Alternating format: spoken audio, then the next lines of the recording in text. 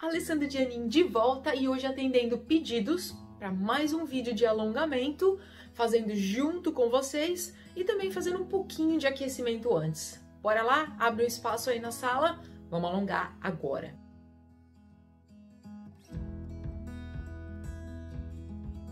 A gente vai começar o nosso aquecimento com um movimento bem legal que vai ajudar bastante a soltar também a musculatura das costas. Então, ó, vocês vão deixar os pés paralelos na largura do quadril. Começa trazendo o queixo na direção do peito. Relaxa os seus joelhos. Vai enrolando a sua coluna. Chegou lá embaixo, vai começar a subir. Sempre trabalhando, tentando trabalhar uma vértebra de cada vez. É como se você estivesse fazendo o alongamento vértebra por vértebra, por isso que a gente começa com o queixo no peito para sentir esse alongamento. Deixa o joelho relaxado e vai, vai, vai, vai, vai, vai, vai. E sobe. Vamos colocar um pouquinho mais de respiração nisso agora. Inspira, inspira pelo nariz. Começa a soltar o ar, encolhe o abdômen. Chegou lá embaixo, inspira, dobra os joelhos, solta o ar, contrai o abdômen e começa a subir bem devagar.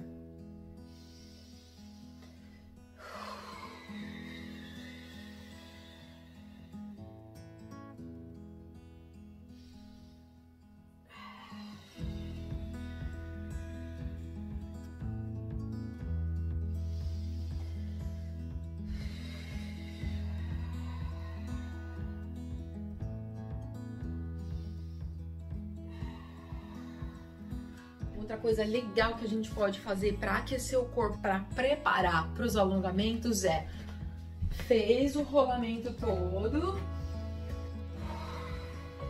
chegou lá embaixo, com o joelho bem flexionado, caminha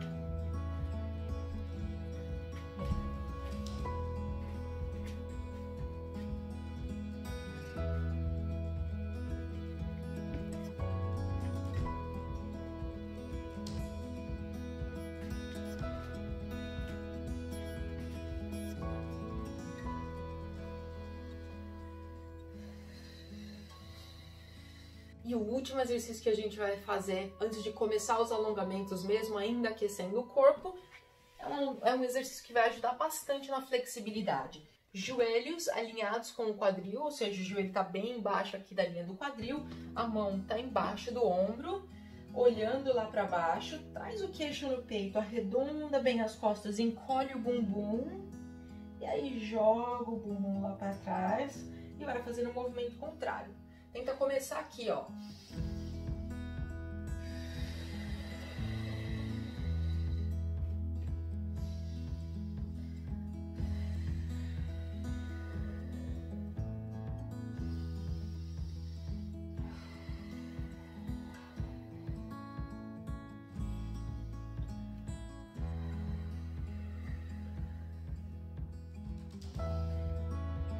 Pode fazer mais vezes se você sentir que tá alongando, que tá gostoso, que tá trabalhando bastante a mobilidade. E aí a gente vai começar os nossos alongamentos mesmo. Maravilha? Então vamos começar os nossos alongamentos. A sua opção número um é começar com a sua perna direita, aqui logo na frente da esquerda. Se você já tá mais acostumado a alongar, você vai colocar a sua perna em cima. E se você quiser alongar um pouco mais, se você já tá bem acostumado a alongar, cruza uma perna e coloque seu tornozelo em cima da coxa. Não importa a opção que você vai fazer, a gente vai alongar daqui para frente. Coloca a mão lá para trás, alonga as costas, tira o bumbum do chão. E aí, que hora que você sentar, você vai sentir os dois ossinhos do quadril encaixando aqui, bem legal. E a sua coluna bem alongada. Continua com as mãos no chão, joga os ombros lá para trás, enche o peito.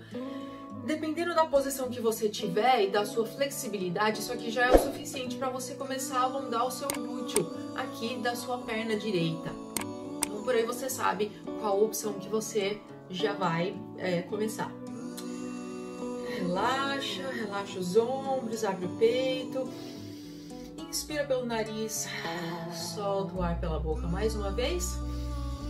Inspira, tira a mão, subiu, Solta o ar e vai lá pra frente.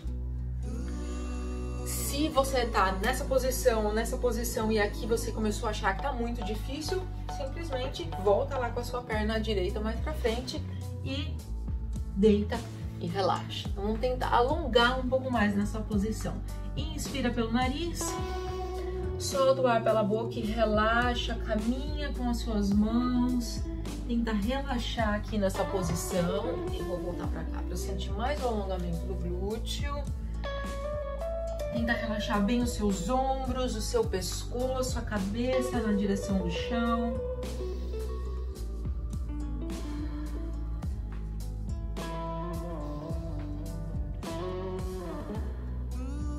E se você achar que você precisa ficar um pouquinho mais em alguns dos alongamentos, fica à vontade. Pausa o vídeo e fica um pouco mais aí no seu alongamento.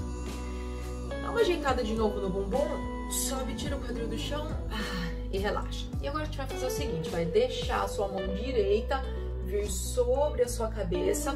Percebe que aqui, ó, o meu ombro, ele não tá vindo na direção da minha orelha. Eu tô tentando relaxar o ombro lá para baixo e relaxar o cotovelo enquanto você vem com o braço lá para cima.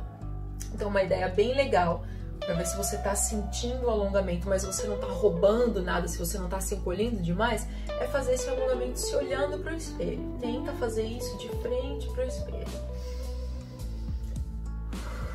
Relaxa, empurra o seu ombro lá para baixo, longe da orelha, como se você estivesse tentando achar um espaço aqui entre a orelha e o ombro. E aí vamos tentar do outro lado. hora que a gente alcança mais é a hora que você solta o ar.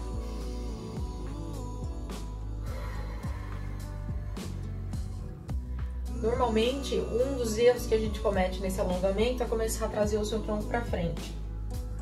Tenta deixar o seu peito aberto, a não ser que você queira realmente alongar nessa posição. Se você não está querendo alongar nada diferente, o que a gente quer aqui é o alongamento lateral do tronco, então eu quero esse peito aberto olhando lá pra frente. Fica um pouquinho mais. Se você precisar, dá uma alongada lá pra cima. Longe da orelha, a gente vai lá pra frente de novo.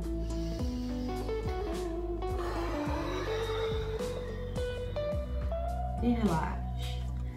Tenta ver agora se nessa segunda rodada, vindo pra frente, você consegue relaxar um pouquinho mais. Talvez alcançar um pouco mais pra frente com as suas mãos.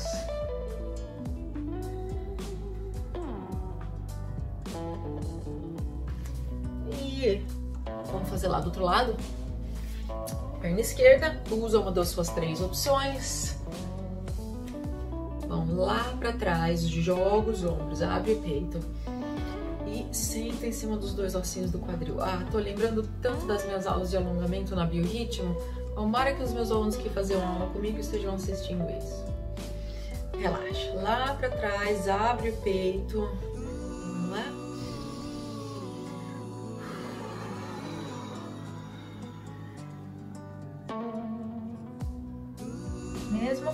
Relaxa, tentando deixar os ombros para baixo, a cabeça relaxando.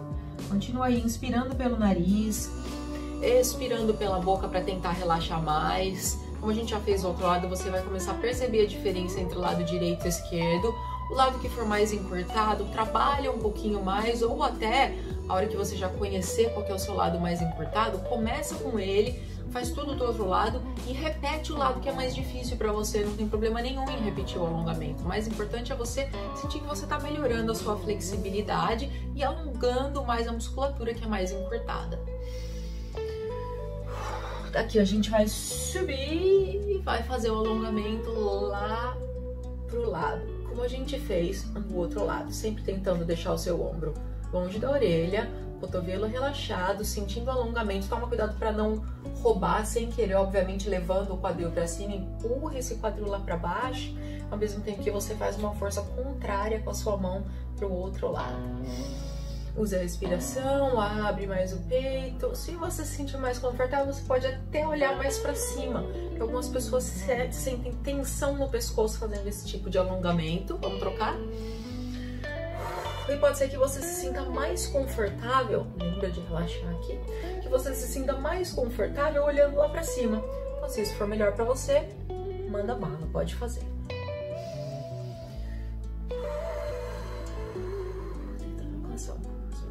Mais. Não prende a respiração. É na expiração que a gente consegue relaxar e alongar mais. Volta lá para cima. E vamos lá para frente mais uma vez.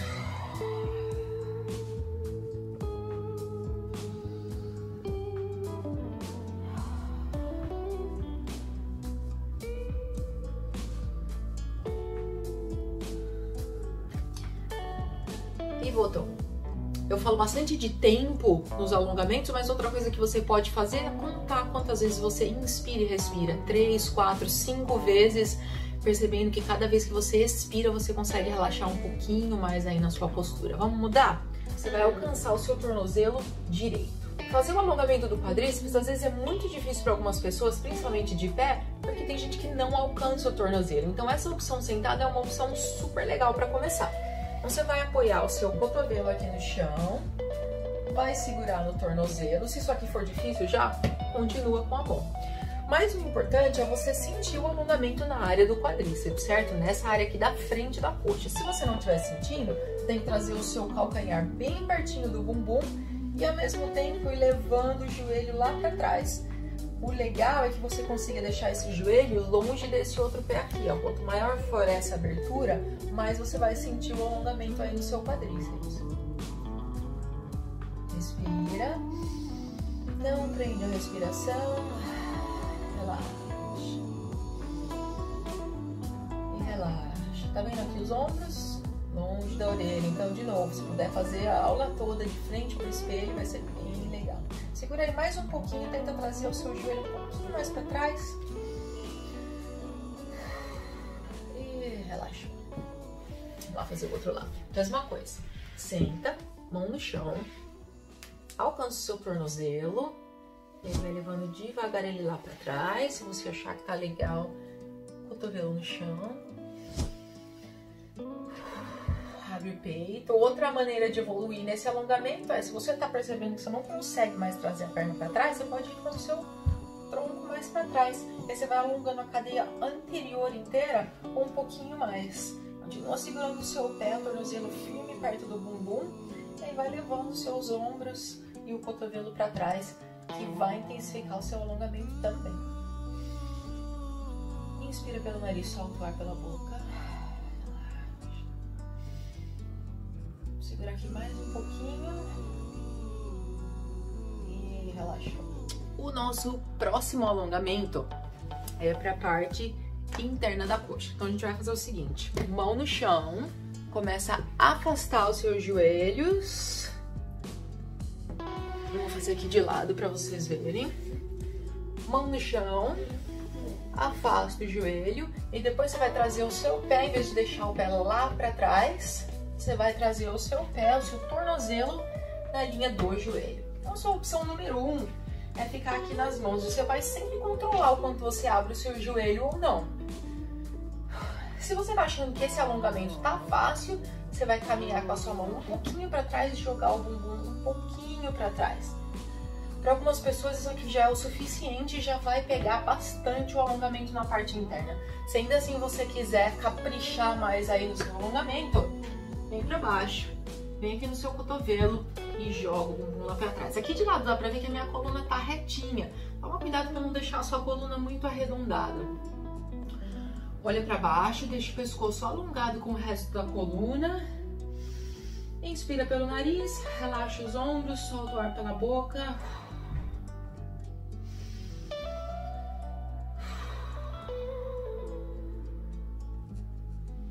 Para nossa última parte hoje, eu quero que você pegue umas duas, três almofadas e sente em cima.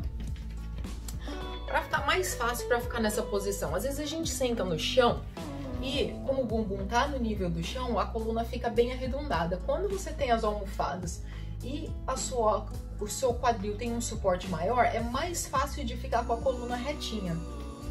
Se ainda assim isso for desconfortável para você, você pode sentar numa cadeira para fazer essa próxima parte. Então a gente vai começar inspirando pelo nariz e encolhendo mesmo os, os ombros perto das orelhas, solta o ar e relaxa. Não é para controlar a volta. Despenca. Mais uma vez. E relaxou. Maravilha. Agora bem devagar.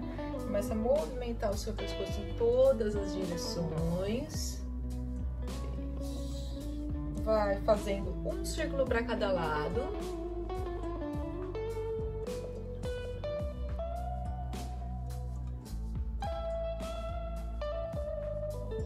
Mais uma vez para cada lado.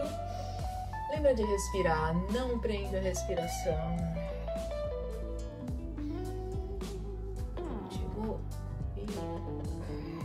Olhando lá para frente, mão direita na orelha esquerda e puxou. Presta atenção para não deixar o ombro lá para cima, tentar deixar o seu tronco alinhado, retinho. Às vezes a gente começa a fazer o movimento com o tronco e a gente só quer movimentar o pescoço para tirar a tensão nessa área. Não precisa ficar muito dolorido, você tem que só sentir um pouquinho o alongamento para você conseguir relaxar. Esse é o tipo de alongamento que seria interessante fazer todos os dias no final do dia. Troca o lado, movimentar o pescoço primeiro para depois alongar, principalmente quem trabalha na frente do computador. Se tiver fácil, traz a mão mais para baixo, puxa um pouquinho mais e você ainda pode levar o seu braço lá para trás, que vai aumentar mais ainda a distância entre a orelha e o ombro na hora que você estiver fazendo o braço para trás.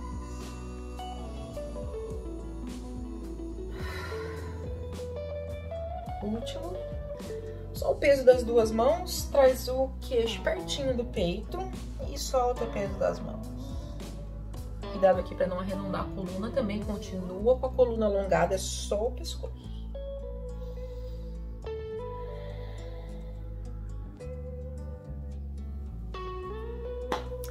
E voltou. Esse não é o primeiro vídeo de alongamento, caso você esteja vendo esse vídeo pela primeira vez. Aqui nos cards, aqui nos cartões, vocês vão encontrar mais vídeos de alongamento. Assistam, deixem os seus comentários. Se vocês quiserem ver alguma coisa diferente, escrevam aqui também. E eu vejo você no próximo vídeo. Tchau!